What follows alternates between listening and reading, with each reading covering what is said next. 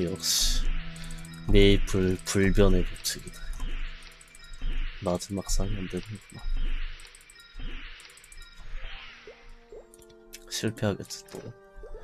그래야 메이플이다.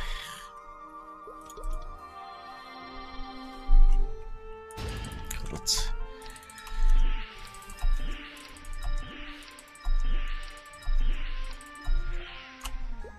잘 된 것처럼 보이지만 또, 또 실패하겠지. 두 번 정도 실패인 거지. 그렇지. 이제는 좀 됐으면 좋겠는데. 이젠 돼야 될 것 같은데. 때가 된 것 같은데. 요 정도 썼으면 될 만하지. 그렇지.